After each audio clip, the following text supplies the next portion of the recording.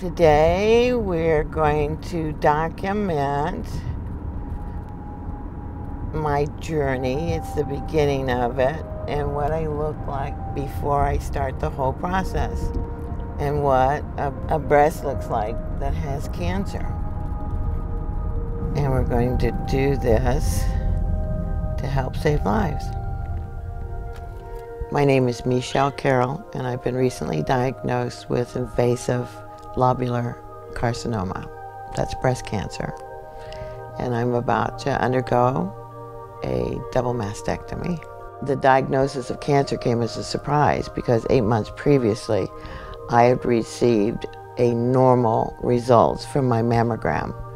At that time, what I didn't know that I know today is that I had dense breasts and they couldn't read my breasts through this mammogram. And cancer is white and dense breasts are white. And so that's what they saw, was white on white.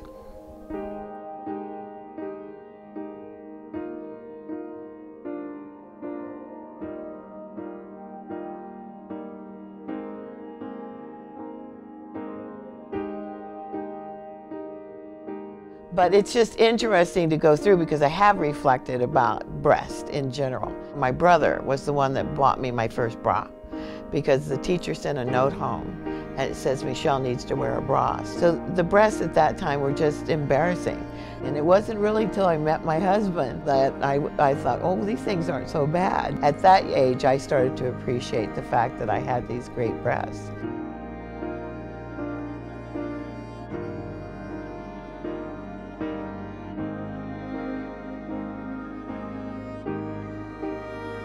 One of the issues has been whether or not um, I want reconstructive surgery after having the double mastectomy, and I don't.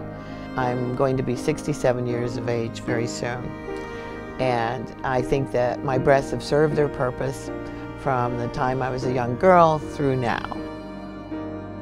And I may be wrong, and I may feel differently once they're gone.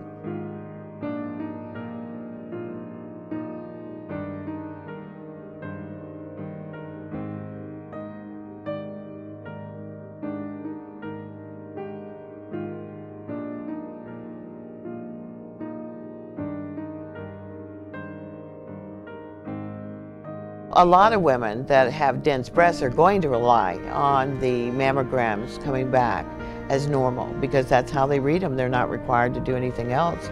They don't tell us that they're dense. We don't even know that we have dense breasts, so we don't know. You know, we don't find out until it's too late, and, and or you find out um, that you have to go through a lot of radical changes in order to be okay. Maybe if they find it sooner, you don't have to. Maybe you have more options available to you than you would if you wait till later.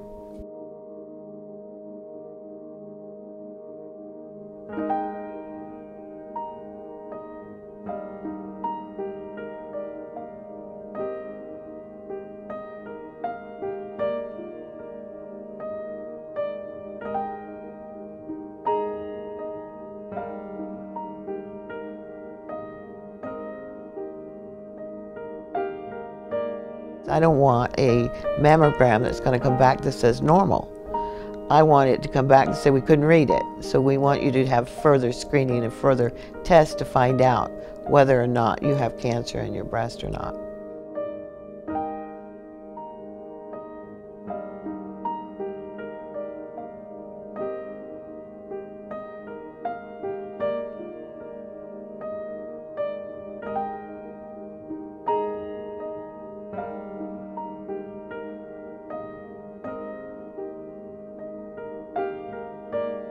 I'm doing this on behalf of all women and um, to make sure that laws are passed and that radiologists and others are required to in be inform our doctors and our doctors inform us that we have breast density. I just want change. We have a right to be informed about our health. We have a right to be informed about our breast.